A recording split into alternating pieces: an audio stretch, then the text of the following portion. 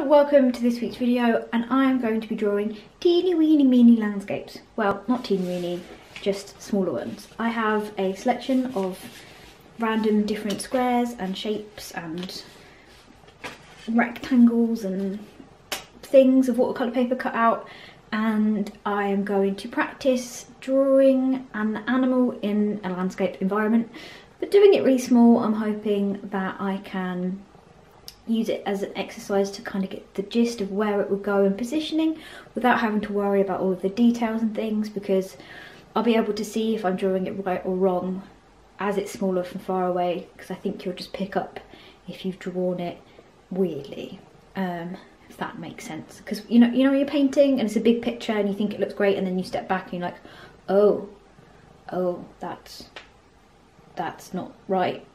I imagine with a small painting because it's already small you're already quite far away in proportion sizes.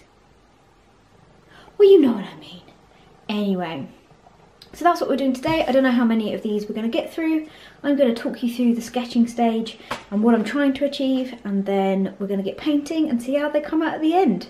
So, fingers crossed, they work.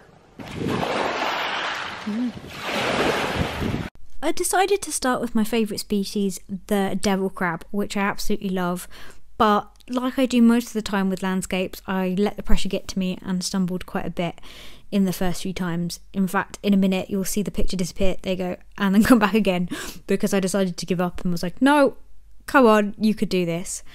So I was doing the devil crab kind of hidden in a little cave, ready to come out and, you know, attack the world. I wanted a bit more of a dynamic pose, but we got to start somewhere.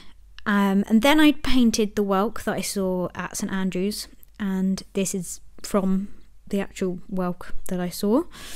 And the next one I did, I drew a seahorse. I really like seahorses, but I also wanted to practice painting seagrass, which I like to paint and would love to paint a lot better, but the couple of times that I've drawn it, it drives me up the wall because I'm not very good at painting green for some reason. It's the colour I really struggle to make different tones of.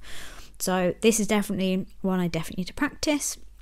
And then I decided to draw an anemone eating a crab claw. I don't know if you've ever seen this, but I've seen it every now and again.